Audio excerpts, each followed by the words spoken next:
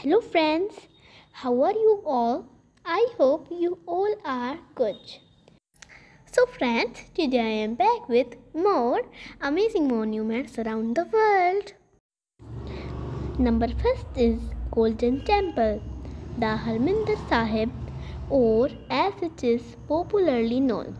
The Golden Temple was built between 1585 and 1604 AD in Amritsar, India. The temple is made of white marble embellished with real gold, hence the name Golden Temple. Considered to be the holiest Gurudwara by Sikhs, the Golden Temple was built so as to create a place of worship for all people from all walks of life and all religions. Amazing fact about Golden Temple. One lakh people visit the temple on a daily basis. Many of them also participate in the community kitchen langar. Second monument is St. Peter's Basilica. St. Peter's Basilica was built between 1506 and 1626 in Vatican City within Rome, Italy.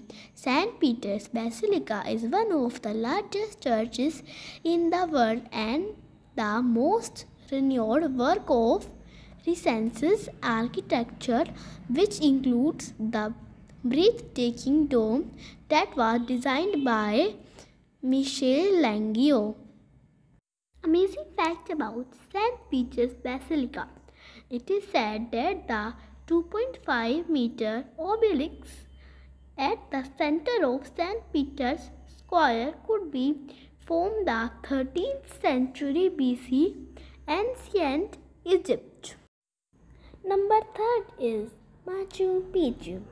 The Machu Picchu is an ancient Inca site that was built around 1450 in Peru. Machu Picchu literally means a mountain with a broad base and a sharp peak.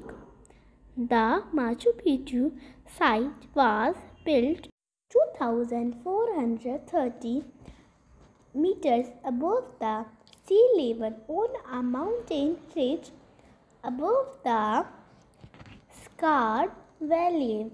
It was built with polished dry stone walls in the classical Inca style. Amazing fact about Machu Picchu. One of the rules to enter the ruins states that a tourist cannot enter the ruins dressed in the traditional costume of another country. Our fourth monument is Kiyomizu Tera. The Kiyomizu temple was built in 778 in Kyoto, Japan.